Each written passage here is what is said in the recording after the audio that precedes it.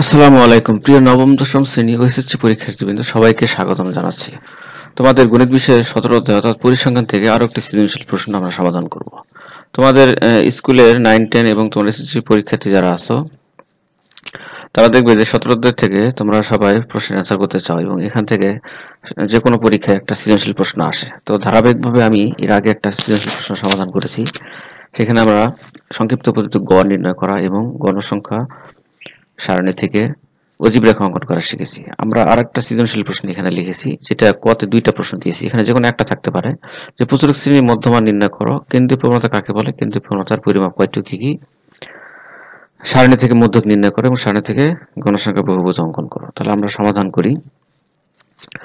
কতে যে, যেটা প্রশ্ন আছে যে, এই প্রশ্নগুলো বিভিন্ন টাইপের হতে পারে। আমার একটা ভিডিও আছে এখানে, এই চ্যানেলে আপলোড করা আছে যে, সংক্ষিপ্ত প্রশ্নের এই মানে সতেরোতে থেকে কি কি সংক্ষিপ্ত প্রশ্ন আসে, ক নাম্বারে, সেগুলো সমাধান করা আছে। তোমরা সেখান থেকে দেখে নিতে পারো। এখানে আমি দুইটা প্রশ্ন দিয়ে দিছি। এরপর আমরা তাহলে সমাধান চলে যাই। এখানে ক নাম্বার যেটা বলা আছে, এক নাম্বার, কর এক, যে প্রচুরক শ্রেণি মধ্যমান নির্ণয় করো। তাহলে এটা সমাধান কি হবে? যে প্রচুরক শ্রেণি কি? যে দেখো, গণসংখ্যা সবচেয়ে যেটা বেশি সর্বাধিক গণসংখ্যা বিশিষ্ট যে শ্রেণীব্যাপ্তি সেটাই হচ্ছে প্রচুরক শ্রেণি। তাহলে এখানে যে সারণীটা দেখতে পাচ্ছি, সেই সারণীতে আমরা দেখা যাচ্ছে যে এই যে সবচেয়ে বেশি গণসংখ্যা আছে ত্রিশ, যেটার শ্রেণীব্যাপ্তি হচ্ছে পঁয়ষট্টি থেকে সত্তর। তাহলে প্রচুরক শ্রেণি হচ্ছে পঁয়ষট্টি পঁয়ষট্টি থেকে চুয়াত্তর এটা। তাহলে এটার মধ্যমান, অর্থাৎ নিম্নমান এবং উচ্চমান যোগ করে এখানে দুই দিয়ে ভাগ দিতে হবে, তাহলে সেটাই মধ্যমান পাওয়া যাবে। আশা করি তোমরা বুঝতে পেরেছ যে প্রচুরক শ্রেণি মধ্যমান নির্ণয় করার নিয়ম হচ্ছে গণসংখ্যা যেটা বেশি থাকবে, সর্বাধিক বা যেটা থাকবে, সেটার শ্রেণীব্যাপ্তি, নিম্ন সীমা এবং উচ্চ সীমা যোগ করে দুই দ্বারা ভাগ করলে যেটা পাওয়া যাবে সেটাই হচ্ছে মধ্যক। এখানে এটা একটু ভুলেছি এটা এটা আমি একটু ঠিক করে লিখতেছি। এটা হবে উনসত্তর মানে উনসত্তর দশমিক পাঁচ। উনসত্তর দশমিক পাঁচ হবে এটা। এটা ছয় দশমিক পাঁচ হয়ে গেছে মানে একটু টাইপিং মিস্টেক হয়ে গেছে। এরপরে যেটা বলা আছে, কেন্দ্রীয় প্রবণতা কাকে বলে? কেন্দ্রীয় প্রবণতার পরিমাপ কয়টি ও কি কি? তাহলে কেন্দ্রীয় প্রবণতা উপাত্তসমূহ মানের ক্রমানুসারে সাজালে উপাত্তসমূহ কেন্দ্রীয় মানের দিকে পঞ্জীবিত হওয়ার প্রবণতাকে কেন্দ্রীয় প্রবণতা বলে। অর্থাৎ অবিনিশ্চিত উপাত্ত যদি দেওয়া থাকে, সেই উপাত্তগুলো মানের ক্রমানুসারে, অর্থাৎ ছোট থেকে বড় বড় থেকে ছোট সাজালে যে মানটা কেন্দ্রের দিকে থাকে, সেটাই হচ্ছে কেন্দ্রীয় প্রবণতা। আর কেন্দ্রীয় প্রবণতার পরিমাপ হচ্ছে তিনটি যথা গড় মধ্যক প্রচুরক তা আশা করি তোমরা বুঝতে পেরেছ। এরপর আমরা সারণী থেকে মধ্যক নির্ণয় করা শিখব। খুবই ইম্পর্টেন্ট একটা টপিক যে মধ্যক নির্ণয় করো। তো মধ্যক নির্ণয়ের জন্য আমাদের ক্রমযোজিত গণসংখ্যা সারণী তৈরি করে নিতে হবে। তাহলে আমরা আহ, চলে যাই। যে সারণী থেকে মধ্যক নির্ণয় করো, তাহলে সমাধান মধ্যক নির্ণয় গণসংখ্যা নির্বাচন সারণী হচ্ছে নিম্নরূপ অর্থাৎ ক্রমযোজিত গণসংখ্যা সারণী তৈরি করতে হবে। অর্থাৎ ক্রমযোজিত অথবা যোজিত গণসংখ্যা সারণী একই। তাহলে এখানে প্রথমে আমরা এখানে প্রথম গণসংখ্যা যেটা, সেটাই লিখব। অর্থাৎ এখানে পাঁচ হবে। প্রথম গণসংখ্যা পাঁচ, পাঁচের সাথে পরবর্তী গণসংখ্যা যোগ করে নিচে লিখতে হবে। অর্থাৎ পনেরো, পনেরোর সাথে পনেরো যোগ করলে তিরিশ, তিরিশের সাথে আবার বিশ যোগ করলে পঞ্চাশ, পঞ্চাশের সাথে আবার যদি আশি যোগ করি তাহলে তিরিশ যোগ করে আশি হয়, আশির সাথে ষোলো যোগ করলে ছিয়ানব্বই হয়। অর্থাৎ ক্রমযুক্ত গণসংখ্যা আগে তৈরি করে নিতে হবে। এরপরে এই ক্রমযুক্ত গণসংখ্যা সারণী তৈরি করে যেটা এন সমান যেটা বেরোচ্ছে নাইনটি সিক্স অর্থাৎ এখানে গণসংখ্যা মোট গণসংখ্যা ছিয়ানব্বই। তাহলে এন বাই টু বের করতে হবে এখানে। অর্থাৎ এন বাই টু হচ্ছে ছিয়ানব্বই ভাগ দুই, অর্থাৎ আটচল্লিশ। আটচল্লিশতম পদ যার অবস্থান হচ্ছে এত শ্রেণীতে। মধ্যক হবে আটচল্লিশতম পদ, যার অবস্থান কিন্তু পঞ্চান্ন থেকে চৌষট্টি। এটা একটু বোঝার দরকার যে আটচল্লিশতম পদ এই শ্রেণীতে কেন? এখানে দেখো, পঁচিশ থেকে চৌত্রিশ, এখানে গণসংখ্যা পাঁচ, এর মানে হচ্ছে এই পঁচিশ থেকে চৌত্রিশ এই শ্রেণীতে এখানে ডেটা আছে হচ্ছে পাঁচটি। অর্থাৎ সেটা পঁচিশ হতে পারে, অর্থাৎ সেটা ছাব্বিশ হতে পারে, সেটা একত্রিশ হতে পারে, সেটা তেত্রিশ হতে পারে, সেটা বত্রিশ হতে পারে। তাহলে এই পাঁচটি ডেটা পঁচিশ থেকে চৌত্রিশের মধ্যে আছে। তাহলে তোমাকে যদি বলি যে পাঁচ নাম্বার পদ কোথায় পাওয়া যাবে? তাহলে পাঁচ নাম্বার পদ এটা কিন্তু এক নাম্বার পদ এটা দুই নাম্বার, তিন নাম্বার, চার নাম্বার, এটা হচ্ছে এটা হচ্ছে তোমার পাঁচ নাম্বার পদ পাঁচ নাম্বার পদ কিন্তু এই পঁচিশ থেকে চৌত্রিশ, চৌত্রিশের মধ্যেই পাওয়া যাবে।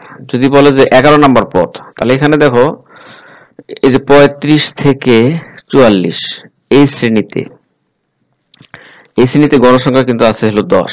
তো প্রথমে প্রথম এখানে পাঁচটা আছে, এরপর আছে দশ। এগারো নম্বর পদ কিন্তু তোমরা এই পঁয়ত্রিশ থেকে চুয়াল্লিশের ভিতরে পাবে। কারণ এখানে দশটা ডাটা আছে। সেই ডাটাকে যদি আমরা এইভাবে চিন্তা করি যে ছত্রিশ সাঁত্রিশ আটত্রিশ, একচল্লিশ একচল্লিশ, তারপরে চুয়াল্লিশ তাহলে কয়টা দশটা আছে। এক, দুই, তিন, চার, পাঁচ, ছয়। তারপরে আবার চুয়াল্লিশ। সাপোজ মনে করো আটটা আছে, পঁয়ত্রিশ, দুই, চার, ছয়, আট। এরকম দশটা ডাটা পঁয়ত্রিশ থেকে চুয়াল্লিশের ভিতরে আছে। গণসংখ্যা দশ মানে কি? এখানে পঁয়ত্রিশ থেকে চুয়াল্লিশ এর মধ্যে দশটা সংখ্যা আছে। হ্যাঁ তারপরে এখানে সাপোজ মনে করো উনচল্লিশ তারপরে এখানে ধরো আটত্রিশ আরেকটা আছে, এই দশটা ডাটা। তাহলে এগারো নাম্বার সংখ্যা কত? এখান থেকে কিন্তু পাঁচ নাম্বার পাঁচটা ডাটা কিন্তু আগেই গেছে, পঁয়ত্রিশ থেকে চৌত্রিশের মধ্যে। তাহলে এটা হচ্ছে ছয়, এটা সাত, এটা আট এর নয়, দশ, এগারো। এইটা হলো এগারো নাম্বার ডাটা। এবং যেটা পাওয়া যাবে কিন্তু পঁয়ত্রিশ থেকে চুয়াল্লিশের মধ্যে। ঠিক অনুরূপভাবে আটচল্লিশ। তাহলে দেখো এখানে তিরিশ পর্যন্ত ডাটা পাওয়া যাবে এই শ্রেণীতে।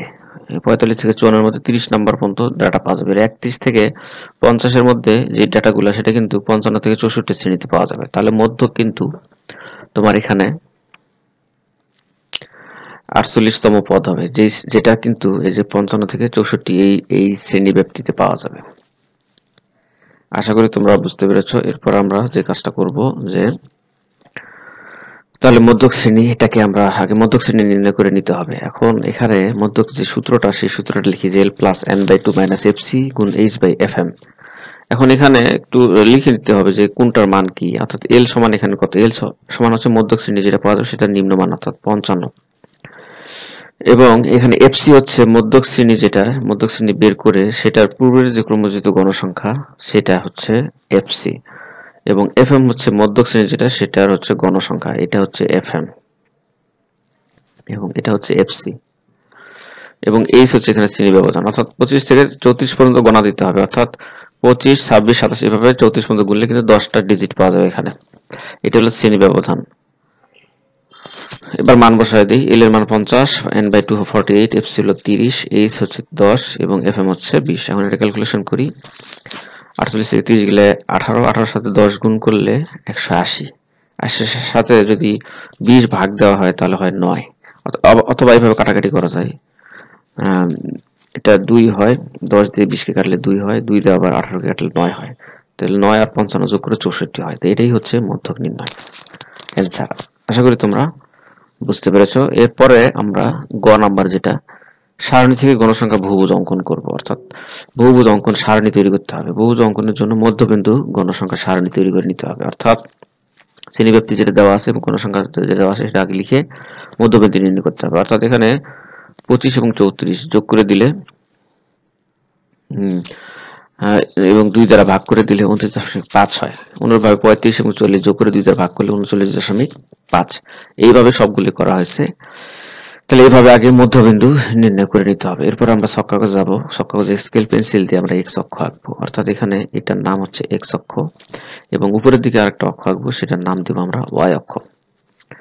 এবং এক্সের দিকে শ্রেণি মধ্যবিন্দু এবং ওয়াই এর দিকে গণসংখ্যা বসাতে হবে এবং এখানে পরস্পর ও বিন্দুতে এখানে জিরো বিন্দু বা ও বিন্দুতে এখানে সেট করবে। এবং প্রথম পাঁচটা ঘর বা ঘর এভাবে আমরা ভাঙ্গা চিহ্ন দিয়ে প্রকাশ করব। এবার আমরা ছক কাগজটা নিয়ে আসি। ছক কাগজের যে মধ্যবিন্দুগুলো, সেগুলো আমরা বসাবো। অর্থাৎ এখানে প্রথমে, প্রথম যে এটা, প্রথম পাঁচটা ঘর ভাঙার পর, এটা দেখো উনত্রিশ দশমিক পাঁচ, এটার আগের মধ্যবিন্দুটা নিতে হবে। অর্থাৎ এখানে আগে একটা যদি শ্রেণি থাকতো সেটা হতো উনিশ দশমিক পাঁচ। তাহলে আমরা এখানে লিখব উনিশ দশমিক পাঁচ। এরপরে ধারাবাহিকভাবে সবগুলো বসাই দিই, উনত্রিশ দশমিক পাঁচ। এরপরে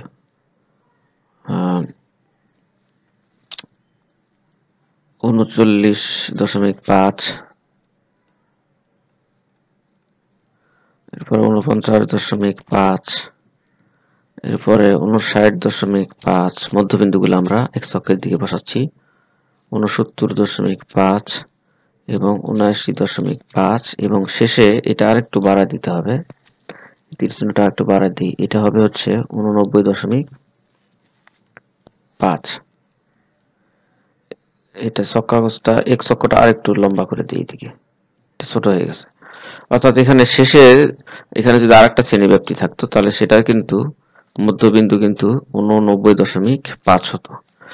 এবার আমরা গণসংখ্যাগুলো বসাই দেবো। অর্থাৎ এই যে মধ্যবিন্দু উনত্রিশ দশমিক পাঁচের গণসংখ্যা পাঁচ, অর্থাৎ এখানে এক ঘর সমান আমরা এক একক নিব। অর্থাৎ এখানে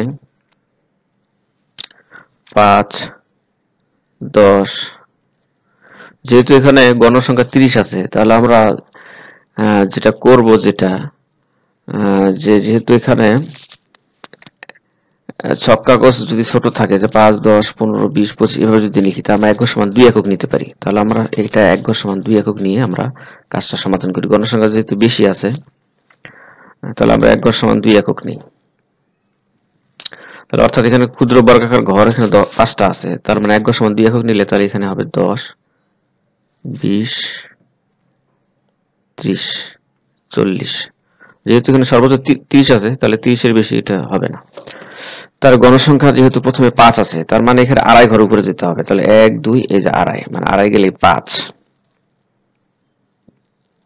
এরপরে দশ দশ এখানে এই যে এই বিন্দুটা আমরা নিব, দশ। এরপরে আছে পনেরো, অর্থাৎ পনেরো হবে এখানে দশ, বারো, চোদ্দ, এই যে এটা হলো পনেরো। এরপরে বিশ বিশ তো এই যেখানে মানে উনষাট দশমিক পাঁচ থেকে যে গণসংখ্যা বিশ, সেটা পুরো আমরা বিশ দাগ উপরে নিব। অর্থাৎ এখানে এক ঘর সমান যেহেতু দুই একক, তার মানে এটাই বিশ হবে। এরপরে তিরিশ। তিরিশ হচ্ছে যে এটা, এরপরে ষোলো। অর্থাৎ এখানে দশ এই পর্যন্ত দশ, বারো, চোদ্দ, ষোলো, এটা হলো ষোলো। এরপরে যেটা করব যে এই যে এটার থেকে আমরা এই এই বিন্দুগুলো কানেক্ট করে দেব। অজীব রেখা কিন্তু ঊর্ধ্বমুখী রেখা। কিন্তু এই যে গণসংখ্যা বহুভুজ যেটা, সেটা কিন্তু একটা বহুভুজ। অর্থাৎ এখানে লাস্টে এখানে কানেক্ট করে দিতে হবে। তো এই হচ্ছে অজীব রেখা অঙ্কন সারণী। আশা লেখচিত্র, আশা করি তোমরা বুঝতে পেরেছ। এখন লাস্টে একটু বিবরণ দিয়ে তোমরা নিতে পারো। বিবরণ কি? যে এক অক্ষ বরাবর প্রতি এক ঘর সমান দুই একক নিয়ে শ্রেণির মধ্যবিন্দু অক্ষ বরাবর প্রতি ক্ষুদ্রতম বর্গের বাহু দৈর্ঘ্যকে এখানে আমি দুই একক হবে। তাহলে এখানে যেহেতু এখানে দুই একক লিখেছি, তাহলে আমরা লিখি এখানে এক না কেটে দুই একক লিখতে হবে এখানে। তাহলে এই এক, এটার পরিবর্তে আমরা এক একক না এখানে দুই একক দিব। দুই একক ধরে, অর্থাৎ ওয়াই অক্ষ বরাবর আমরা এক সমান দুই একক নিয়েছি দুই একক নিয়ে আমরা এই যে সব কাগজে লেখচিত্র এঁকে নিলাম। আশা করি তোমরা বুঝতে পেরেছ।